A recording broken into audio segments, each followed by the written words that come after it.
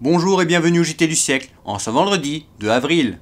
L'Empire ottoman est divisé en deux grands clans ennemis. Le premier à Istanbul, le nouveau gouvernement sans éclat ni autorité de Salim Pacha, qui ne survit que par la grâce des alliés.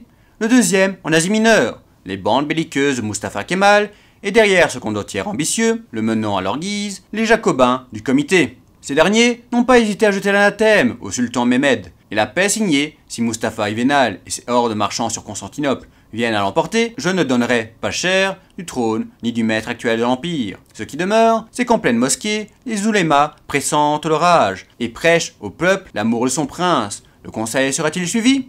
On peut le croire, car toute atteinte au califat marquera la fin du vieil empire et l'écroulement du régime. À cette heure encore, malgré les fanfaronnades des unionistes, malgré aussi le mirage de la constitution, c'est en fait le sultan qui gouverne. Le sultan est, il faut le dire, son voisinage immédiat, ce qu'en termes voilés on nomme le palais. Mehmed V, qui succéda au sanguinaire Abdulhamid, ne fut guère qu'un fantôme de monarque. Son règne est marqué par la plus désolante faiblesse et les plus grandes pertes territoriales. Mehmed VI, son successeur, montre un sursaut d'énergie. Il apparaît dans tous ses actes animé de bonne foi et d'une ardente conviction.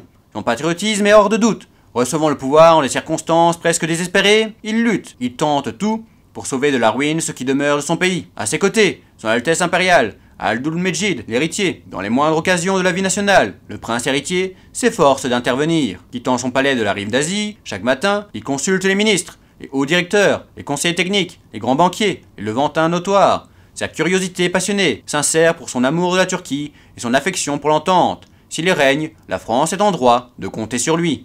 Le journal Ouest Éclair rapporte qu'à Londres, ce 1er avril, la Chambre des communes a adopté en deuxième lecture, par 348 voix contre 94, le projet de loi sur l'Irlande instituant le Home Rule.